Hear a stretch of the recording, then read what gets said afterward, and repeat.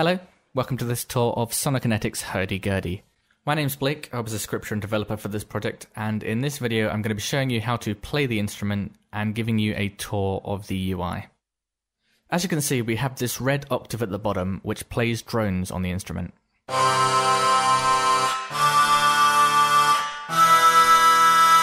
You can hold down the note and it will play and loop the drone sample.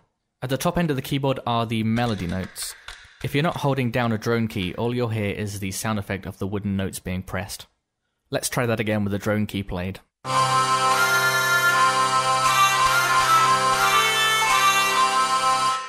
One of the key characteristics of the hurdy-gurdy is the buzzing rhythmic sound you can make with the trumpeter string.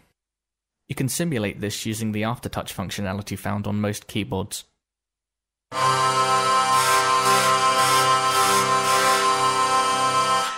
The harder your aftertouch on the key, the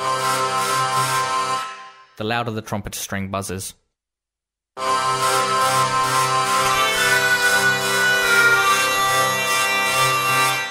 Using this technique, realistic hurdy-gurdy performances can be played intuitively. You can also configure the instrument's various options in the center panel. You can use the flip option to toggle whether the melody is played with the left or right hand. The keyboard layout updates to show you which one is currently active. We recorded every transition between root note and melody note. By default, this option only plays when you're going to or from the root note. If you enable always transition, the intervals are always played regardless of notes.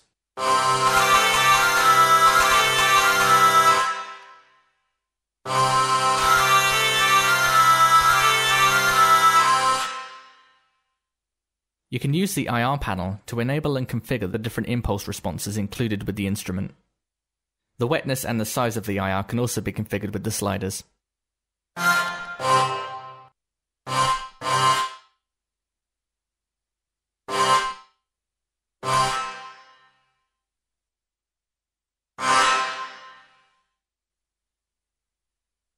You can configure how responsive the aftertouch is with the keyboard. You can adjust the slider up and down to change how hard you have to press to control the aftertouch functionality. Finally, we provide a method to tweak the volumes, attacks, and release of every individual sound made by the instrument. You can drag the sliders up and down to adjust the volume, attack, and release of the corresponding part of the instrument. Each of these sliders can be assigned to any CC on your keyboard to allow you to adjust these values while performing.